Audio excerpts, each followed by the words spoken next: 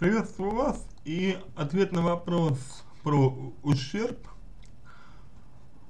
можно формулировать исходя из эм, воли.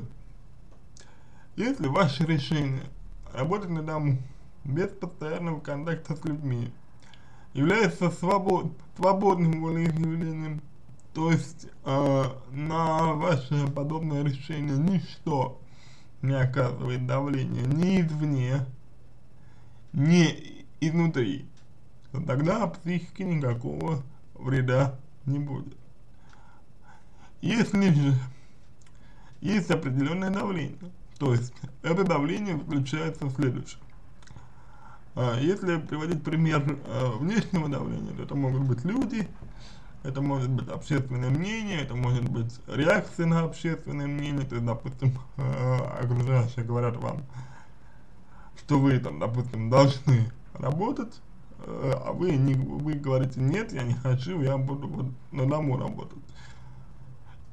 Э, пример внутреннего давления, это когда э, вы испытываете дискомфорт э, от общения, допустим, с людьми, постоянного общения с людьми.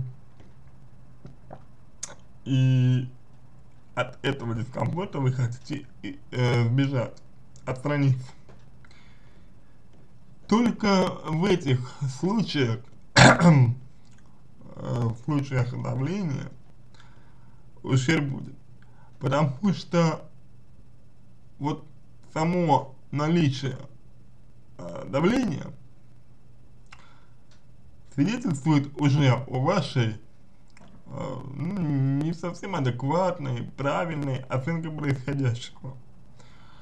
Как вовне, так и э, внутри вас самой.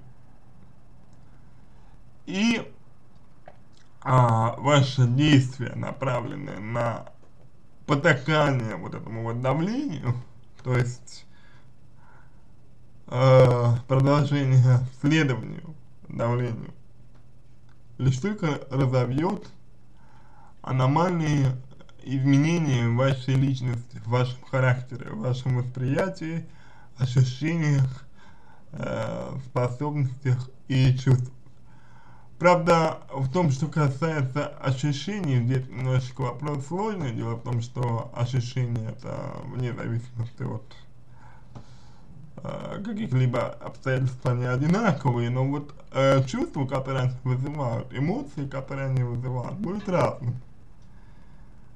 Соответственно, э, если ничего такого нет и никакого давления нет, и вы совершенно спокойно можете общаться с людьми, и во мне вы делаете, делаете, делаете все, что хотите, и вам так просто удобно с точки зрения комфорта, то тогда никакого вреда, конечно, нет.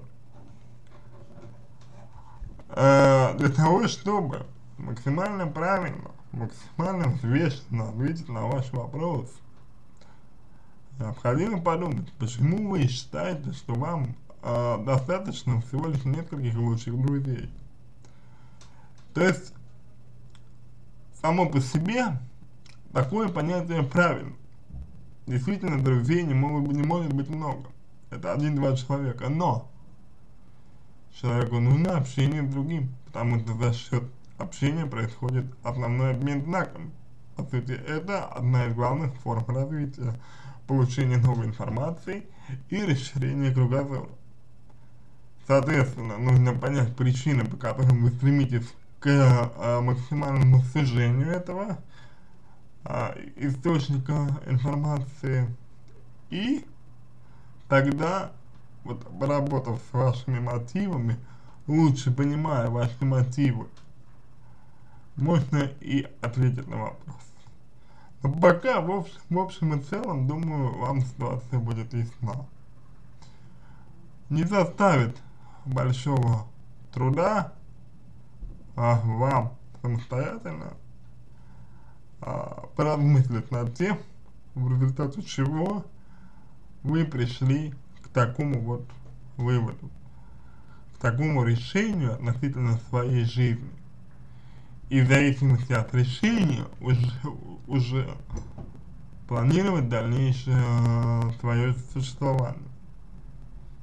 Если э, давление все же есть, нужно обращаться к специалистам хотя бы на нашем ресурсе э, для выявления и устранения проблем. Если давления нет, то тогда все хорошо и э, живите и работайте так, как вам лучше. На этом все. Надеюсь, что помог вам. Если какие-то вопросы остались, обращайтесь в личку, помогу. Если вам понравился мой ответ, пожалуйста, сделайте его лучшим, буду благодарен.